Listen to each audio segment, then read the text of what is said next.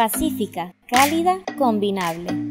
Floral Vice es para los que amamos el rosado. Llegas de un día largo, cansado y te pierdes en un ambiente muy confortable.